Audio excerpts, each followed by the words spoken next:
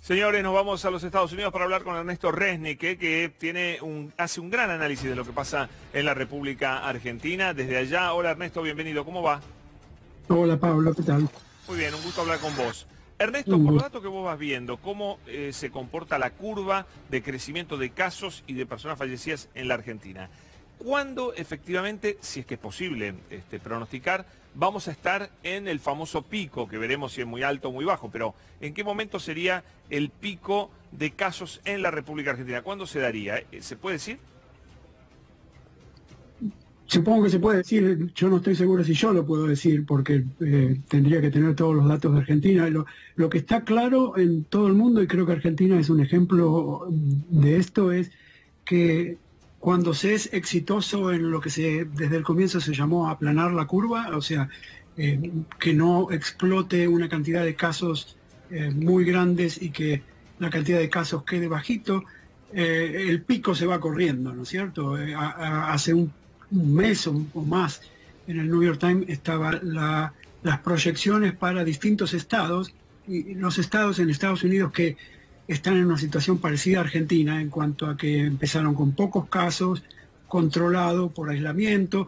El pico se va corriendo y, se espera entre mayo y junio en algunos lados. Ahora, es distinto llamar pico a eso cuando es tan bajito, eh, comparado con lo que es el pico en lugares como Nueva York, que por ahí va a ser mucho antes, pareciera que fuera bueno, que fuera mucho antes, pero eh, en realidad es terrible. Pero Ernesto, ya tenemos eh, por, lo, por lo transitado por Argentina hasta ahora, ¿ya tenemos garantía de que el crecimiento este exponencial que, muestran, que mostraron otros países no puede ocurrir a pesar de que se haya aplanado la curva, de repente puedas tener un crecimiento exponencial?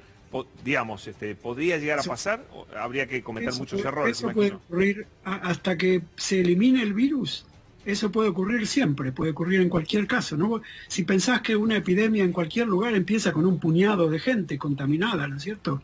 Eh, así que eso puede ocurrir en cualquier lugar y hay ejemplos concretos, por ejemplo, en Estados Unidos, en, estados donde se suponía que no había ningún problema. Voy a poner el ejemplo de, Dakota del Sur, donde el estado permaneció abierto. Eh, de repente explotaron 700 casos en un único lugar, en un frigorífico, o sea, en un puntualmente, no solo en una ciudad, sino en un lugar. Hubo 700 casos.